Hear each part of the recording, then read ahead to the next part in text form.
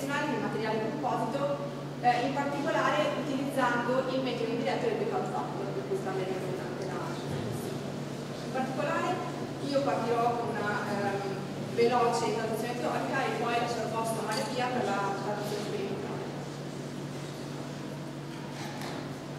Il lavoro nasce da una collaborazione, è importante specificarlo. Se si avvicina al microfono Sì. tutti sono più Ok. contenti. Nasce tra- da una collaborazione tra eh, l'Emilia Farenza, la Scuderia Rosso e l'Università di Bologna, con lo scopo di individuare le caratteristiche o compressioni di un laminato in, eh, unidirezionale e eh, validare il metodo indiretto del backout factor.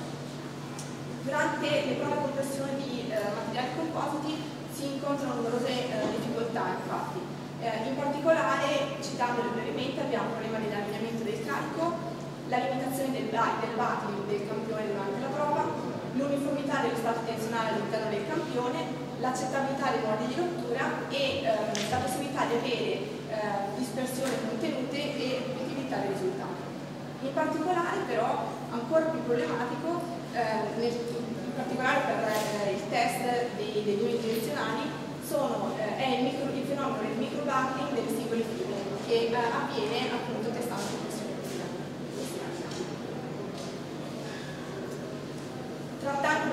brevemente eh, le metodologie di ehm, carica e compressione dei laminati dei materiali compositi, eh, specificandoli per metodologia di carico. Abbiamo innanzitutto i metodi che applicano il carico al campione mediante tabla.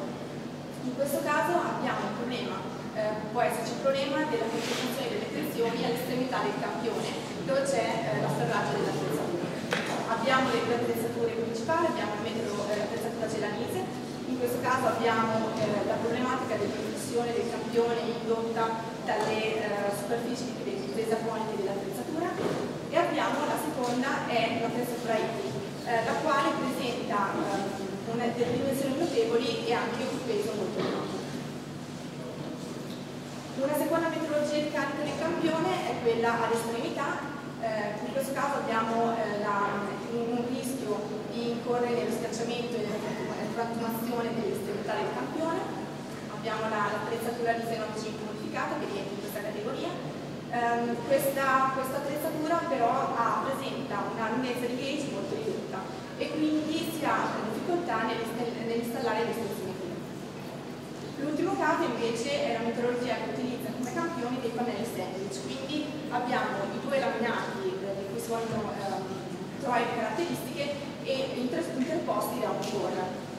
Eh, la procedura di, di, fortificazione dei campioni è sicuramente più complicata, ma in particolar modo si eh, ottengono dei valori di resistenza a compressione generalmente più alti, poiché il core stabilizza le fibre del, del laminato. La metodologia che abbiamo utilizzato, che abbiamo scelto di utilizzare dopo le varie ricerche bibliografiche, è una metodologia combinata, appunto Combined Loading Compression, detta anche CLC, che combina eh, le due di applicazione del carico al campione all'estremità e a taglio. In particolare i principali vantaggi che eh, questa attrezzatura ha eh, sono eh, la, la leggerezza e le dimensioni contenute, la procedura di campioni, di produzione dei campioni che è molto semplificata perché non vengono, non, non vengono richiesti i TAPS sul campione e la dispersione dei risultati contenuta, quindi i coefficienti di variazione che si ottengono dai risultati delle, delle, delle prove sono molto, eh, molto limitati, poi li vedremo. Questa è l'attrezzatura, possiamo individuare il- i quattro blocchi principali del, del corpo, i due loading platens che servono ad allineare, i blocchi superiori e quelli inferiori anche per evitare il bending e l'inflessione del campione. E eh, in particolare nei due blocchi eh, separati che arrivano nella parte superiore abbiamo le cucinette di circolo di e poi possiamo vedere nelle due eh, regioni interne delle superfici ad alto coefficiente d'attrito per, la- per l'aggrappaggio. Rimane però, se eh, ricordiamo le problematiche che avevamo raccontato nella prima slide, rimane il problema del microbuckling del, fibre del laminato unidirezionale. Come si fa a superare questo problema? Si è scelto di utilizzare la metodologia del breakout factor. Questa metodologia eh, è una metodologia indiretta per ricavare la resistenza a compressione del laminato unidirezionale a partire dalla resistenza a compressione di laminato generico testato, che può essere angle ply o cross ply, ehm,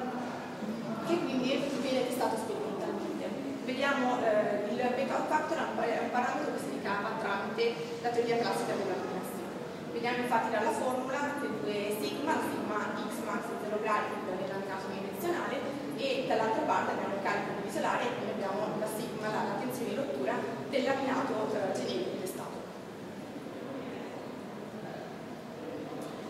Le ipotesi che hanno permesso di ricavare un'espressione um, semplice del breakout factor sono proprietà elastico-lineari del materiale, laminate di piccolo medio spessore con basso curvatore e basse concentrazioni di sforzo da trasversale, le quali permettono di considerare uno stato di sollecitazione piano, ed inoltre laminati simmetrici, equilibrati e bilanciati, che sono oggetto della, della nostra sperimentazione, e ehm, abbiamo considerato la deformazione del piano medio del laminato coincidente con la deformazione delle singole lamine.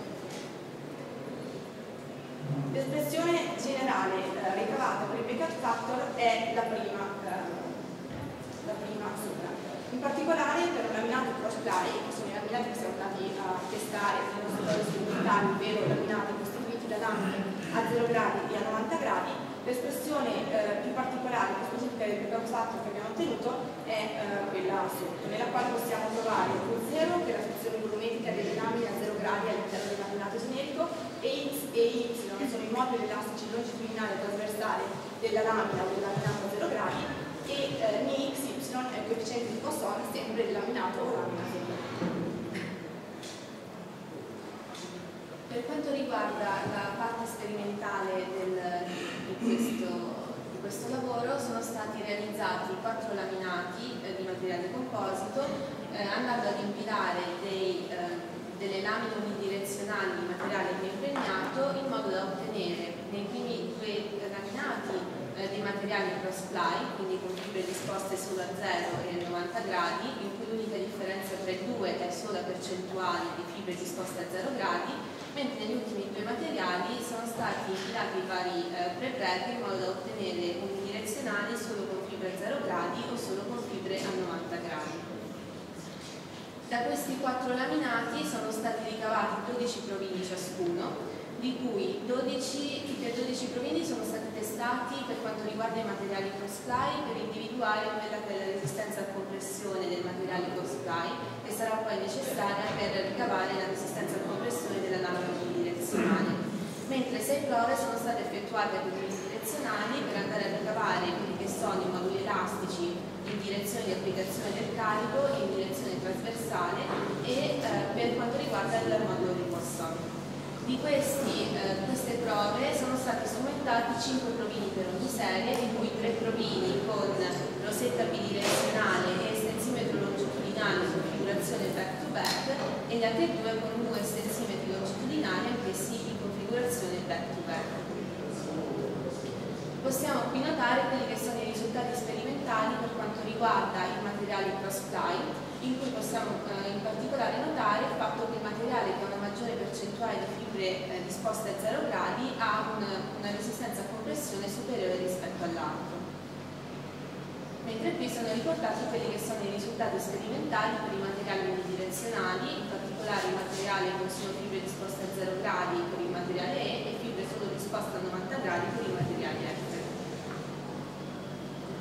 Vengono qui riportati due grafici tipici che abbiamo ottenuto durante le prove sperimentali. In alto possiamo vedere un grafico tensione-deformazione in cui sono messi a confronto eh, i dati relativi agli estensimetri longitudinali delle due facce di uno stesso provino, mentre in basso vediamo l'andamento tipico del bending, cioè della flessione del nostro provino, che è un fattore estremamente importante per capire se eh, possiamo ritenere la prova di compressione valida, cioè abbiamo evitato quello che è il rischio di bucking del provino, oppure è una prova da scartare.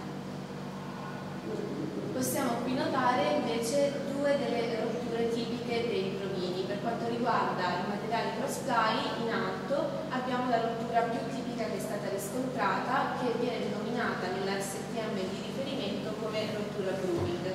mentre in basso è eh, presente la tipica rottura per i materiali unidirezionali a 0 gradi, in cui in particolare si può notare il microbucking delle fibre.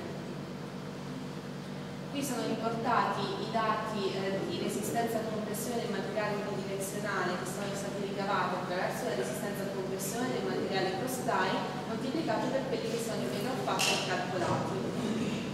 Possiamo notare che il materiale Cioè con i materiali che hanno percentuali di fibre a 0 gradi maggiore rispetto all'altro, per fatto sia inferiore. Da un attento confronto di quelli che sono i dati che abbiamo ricavato sperimentalmente e su quelli che sono i dati forniti dal produttore del materiale impregnato con cui sono stati ricavati tutti i provini, possiamo vedere che i dati che abbiamo ricavato sono ehm, dello stesso ordine di grandezza e quindi sono coerenti con i dati ufficiali forniti e questo fattore, che è un fattore estremamente importante, unitamente al fatto che abbiamo ottenuto uno scatter dei risultati sperimentali molto basso, ci ha portato ad affermare, a validare questo eh, metodo indiretto del calcolo del beta factor unitamente all'utilizzo dell'attrezzatura CNC. Quelli che sono gli sviluppi futuri sono i seguenti. È già in corso di applicazione la, questa metodologia indiretta su dei provini a multiply, cioè dei provini in cui le fibre non sono disposte solo a 0,90 ma hanno anche degli angoli differenti e eh, successivamente si provvederà anche all'applicazione e alla validazione di questo metodo attraverso una simulazione degli elementi finiti, quindi un calcolo tecnico. Grazie.